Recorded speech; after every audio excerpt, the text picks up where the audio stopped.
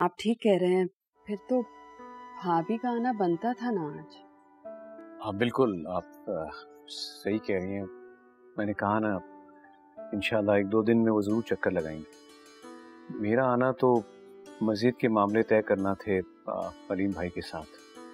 तो सोचा लगे हाथों अपने अपने दिल की बात भी कह डालूं। जी मशवरा करके आपको जवाब देते हैं लेकिन जवाब मुझे हाँ की सूरत में चाहिए भाभी मेरा तो दिल चाह रहा है कि मैं मैं हादिया को आज ही अपनी बहू बनाकर ले जाऊँ